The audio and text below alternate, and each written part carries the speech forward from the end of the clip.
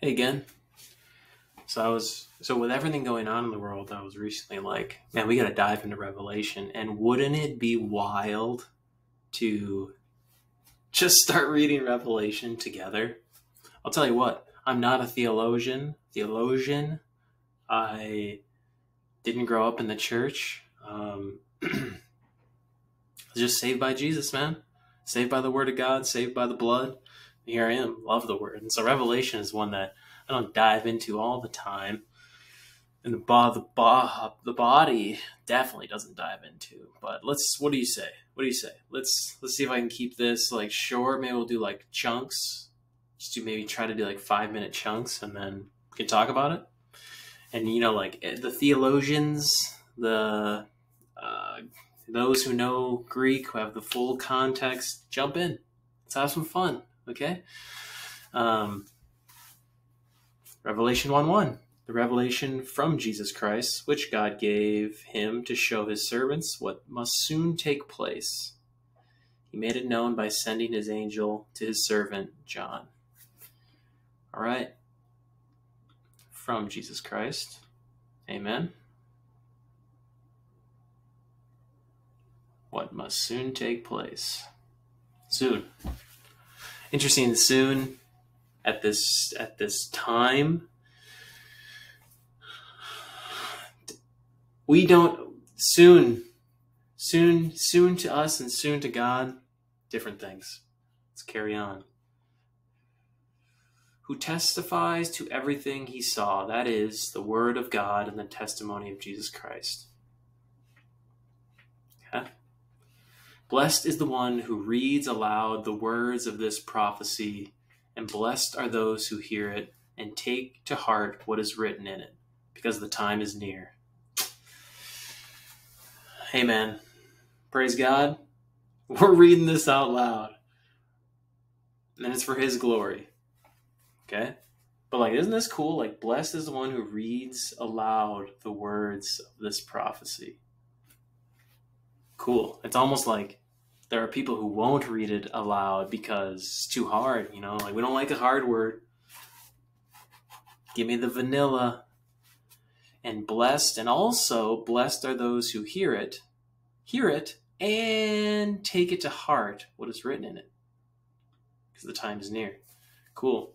Cool. Okay. John to the seven churches in the province of Asia. Grace and peace to you from him who is, and who was, and who is to come, and from the seven spirits before his throne. We'll get into the seven spirits. Are the seven spirits mentioned? Seven spirits in the Bible. Let's see, let's see. I really like Bible Bible Hub, by the way, but let's see if we can get some cross reference. The Spirit of the Lord will rest on him. Acts. Okay, so if anyone has understanding of seven spirits, I know seven spirits will come further in Revelation, but him who was, him who is, and was, and who is to come. Amen and from Jesus Christ, who is the faithful witness, the firstborn from the dead, and the ruler of the kings of the earth. To him who loves us and has freed us from our sins by his blood. Sweet. Who is the faithful witness, the firstborn from the dead, and the ruler of the kings of the earth. To him who loves us and has freed us from our sins by his blood. Amen. All right. This is awesome. You know, people are like, people are like, oh, I'm reading, I'm reading uh, Game of Thrones, I'm watching Game of Thrones, I'm reading this book, I'm reading this like long thing, and it's like, read this. Read this. This is way better. First of all, and they're stealing everything from this. Everything has come out of the Bible, and we've like, because it's the best, the greatest story ever told. And we just like steal. I've always I've always said it's like Bart Simpson when Bart Simpson goes up to the the sign and he makes it say something different. That's what they're doing. They're taking this awesome truth the devil uses this truth, obviously, because it's truth, and you need to have like a cord of truth to get people catch their attention, and then we tie it in a knot. So, to him who loves us and has freed us from our sins by his blood, and has made us to be a kingdom and priests to serve his God and Father. To him be glory and power forever and ever. Amen. Might have to stop right there.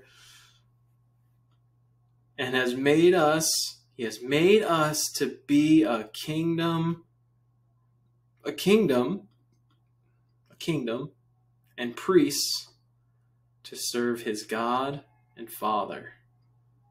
To him be glory and power forever and ever.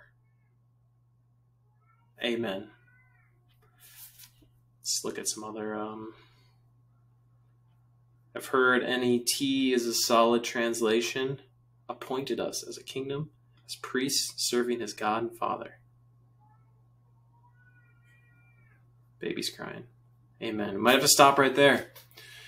He has made us a kingdom and priests, man. I think that's something the body needs to realize. It needs to realize like our true identity, man, is like priests we're like crowned in glory with Christ. We gotta like we gotta remember that. That that's super powerful.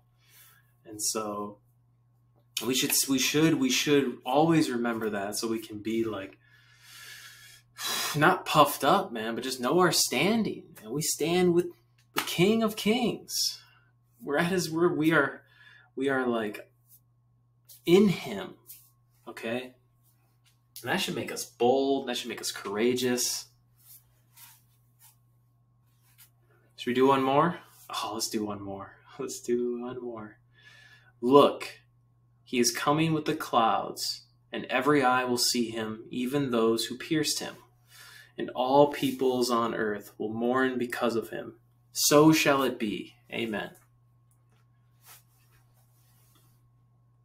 I am the Alpha and the Omega, says the Lord God, who is, and who was, and who is to come, the Almighty. The Almighty. The Almighty, baby. Okay. Send this to uh, the group. All right. Amen. Thank you, Lord, for this time together let's let's return to this. Let's keep moving through Revelation. Let me know if you have thoughts, comments. Um, powerful, powerful stuff, though. You know, I think right up right away, something that strikes me is it's like we are setting the stage of of who is who is delivering this. Let's go all the way back. From this is from Jesus Christ and who Jesus Christ is the Alpha. I am the Alpha and Omega, who is, who was, who is to come, the Almighty. Amen. Hallelujah. That, that is who we follow. That is who gives us his same power, his same courage, have a relationship, know our Father.